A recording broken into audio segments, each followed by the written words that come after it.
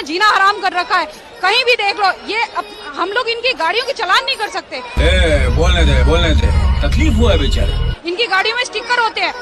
पिट पे क्रेन द्वारा उठा के लाई गई गाड़ियाँ इनको। ये आके हमें धमकाते हैं। कहते हैं आपने हमारे